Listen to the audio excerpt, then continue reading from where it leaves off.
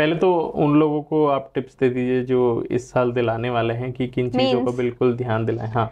Uh, मैं mains वालों को तो यही सजेस्ट uh, करूँगी कि आप करंट अफेयर्स बहुत अच्छे से करके जाइए क्योंकि आपका पेपर सेवन पूरा करंट अफेयर्स से उठाता है। वो साल भर में जो चीज़ें हुई हैं उन्हीं से आपके क्वेश्चंस बनाएँगे चाहे वो स्कीम्स हो आपके इंस्टीट्यूट हो या शिक्षा के क्षेत्र में जो भी बदलाव आए हुए हैं वो करंट अफेयर्स होंगे। पेपर टू करंट अफेयर्स हैं। हिंदी तो आपको पढ़ना पड़ेगा। पेपर वन लैंग्वेज जो है वो आपको अच्छे से करना है क्योंकि ग्रामर है और वो बहुत स्कोरिंग भी हो जाता है और इस बार पेपर बहुत डिफ़िकल्ट आया था तो बहुत मुश्किल से नंबर्स मिल रहे थे लोगों को। तो ये थोड़ा मेहनत करना पड़ेगा लैंग्वेज वाले पेपर में। Okay, okay. और पेपर थ्री ऐसा सब्जेक्ट है ना जो हिस्ट्री है और यूजली लिखने थ्योरी वाले सब्जेक्ट्स में मार्क्स नहीं मिलते हैं। बहुत कम हो जाता है। तो अब इसके लिए डिसअपॉइंट नहीं होना आपको अपना कवर अप करना पड़ेगा पेपर फोर में क्योंकि साइंस में आपके नंबर बन जाते हैं। पेपर सिक्स जो है फिलोसफी सोशियोलॉजी फिलोसफी आपको बहुत अच्छे से समझ के लिखना है अपने वर्ड्स में। सोशियोलॉजी में तो यही सजेस्ट करती हूँ कि फिलोसफी और सोशियोलॉजी जहाँ तक हो सके अपने वर्ड्स में आप लिखें क्योंकि वो फ़ायदेमंद करता है और पॉइंट्स में लिखें। क्योंकि वो आपको हेल्पफुल करता है। और अगर आप डायग्राम्स कहीं पे बना सकते हैं तो फिलोसफी को इंटरेस्टिंग करने के लिए तो वो भी प्रेफर करें ओके। एग्ज़ाम डे टिप्स क्या होने चाहिए मीन्स में? कि उस दिन में एक दिन में दो पेपर हो जाते हैं। हाँ, बिल्कुल हाँ। बिल्कुल जब मैं आ, ऐसा होता है ना सर कि आपको चार दिन है और आपको एक दिन में दो पेपर देना आपके हम्म। पास इतना भी समय नहीं होता कि आप चीज़ों को रिवाइज कर सको। तो मैंने जो किया था वो ये था कि मैंने बहुत शॉर्ट नोट्स बनाए थे तीन चार पेजेस के। ऐसा हर चीज़ लिखा नहीं था बट एक सिनॉप्सिस बना लिया था। वो क्या होता है जब आप रात दूसरे दिन आपको पेपर देना और आपको रात में रिवाइज करना है तो आप हर एक चीज़ वर्ड टू वर्ड तो नहीं कर सकते बट आप एक बार तीन चार पन्नों को पलट कर जा सकते हो। आपको याद आ जाएगा कि हाँ यहाँ पे ये चीज़ थी और उसके आगे तो आप लिख ही लोगे जब आपको यहाँ तक याद आ ही गया है तो। तो सिनॉप्सिस बनाना बहुत ज़रूरी है। मीन्स में आपको रिविजन में ये बहुत हेल्प करता है। Okay okay.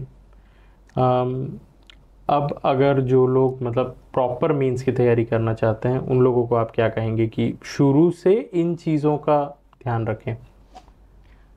मेंस में देखिए सबसे ज़्यादा इंपॉर्टेंट है कि आपको लिखने की हैबिट होनी चाहिए क्योंकि आपका पेपर बहुत लेंदी होता है और अगर आप पेपर नहीं कंप्लीट कर पाए तो बहुत डिफिकल्टी होगी और बट ये भी नहीं है ना कि पेपर कंप्लीट कर लिया और कुछ भी लिख दिया हम्म, हम्म। तो आपको पढ़ना भी है तो जो मेंस की प्रिपरेशन कर रहे हैं उनके लिए ज़रूरी है कि जैसे जैसे आप टॉपिक पढ़ते जा रहे हैं आप देखिए कि उससे क्या क्वेश्चंस पूछ रहा है। और आप उसको लिखकर प्रैक्टिस कीजिए। एक बार आपका पूरा सब्जेक्ट हो जाता है तो आप एक छोटा सा टेस्ट लगा लीजिए। घर पे ही बैठ के अगर आप अभी टेस्ट सीरीज़ नहीं ज्वाइन कर रहे हैं तो घर पे एक टेस्ट लगा लीजिए। प्रीवियस ईयर के जो पेपर्स आए हैं, उनको देखिए कि उसमें किस टॉपिक से ज़्यादा क्वेश्चन पूछ रहा है। आप उसको लिख पा रहे हैं या नहीं? और अगर आप कोचिंग जा रहे हैं तो आप एक बार टीचर से चेक करवाइए कि आपने जो लिखा है वो सही है या नहीं। तो ये आपको बहुत ज़्यादा हेल्प हो जाता है क्योंकि आपको लिखने की प्रैक्टिस होती है। और वहाँ पे तीन घंटा एक पेपर मतलब दिन भर में आपको छः घंटा लिखना है। हम्म। और उस समय आपका माइंड कहीं डाइवर्ट नहीं होना चाहिए। आपको सिर्फ़ छः तीन घंटा अपने पेपर पे ही फोकस करना है। तो इसके लिए आपको अभी से प्रिपेयर करके अपने माइंडसेट को रखना पड़ेगा कि हर एक चीज़ लिख लिख कर देखा जाए कि आप लिख पा रहे हो या नहीं। एक टाइमर सेट कर लो कि मैं इतने मिनट में ये आंसर लिख पा रहा हूँ या नहीं। क्योंकि पंद्रह मिनट में आपको ज़्यादा लाइंस लिखने हैं और दो नंबर के में आपको कम लाइंस लिखने हैं।